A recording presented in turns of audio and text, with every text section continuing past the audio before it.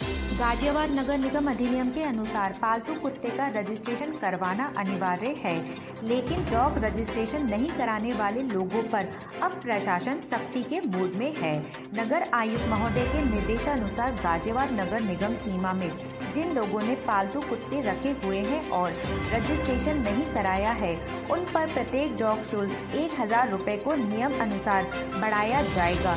नगर आयुक्त महेंद्र सिंह ने कहा कि गाजियाबाद नगर निगम में पालतू कुत्तों का डेटा तैयार किया जा रहा है, जिससे गाजियाबाद नगर निगम को पालतू डॉग रिपोर्ट के अनुसार आगामी योजनाएँ बनाने में सुविधा रहेगी। इसके लिए संबंधित अधिकारी को निर्देश जारी किए जा चुके हैं। उप मुख्य पशु चिकित्सा एवं कल्याण अधिकारी डॉक्टर अनुज कुमार सिंह ने कहा कि जिन कुत्ता मालिकों ने 31 मार्च तक रजिस्ट्रेशन करा लिया है, उनके लिए तो रजिस्ट्रेशन शुल्क केवल एक हज़ार रूपए प्रति कुत्ता ही रहेगा।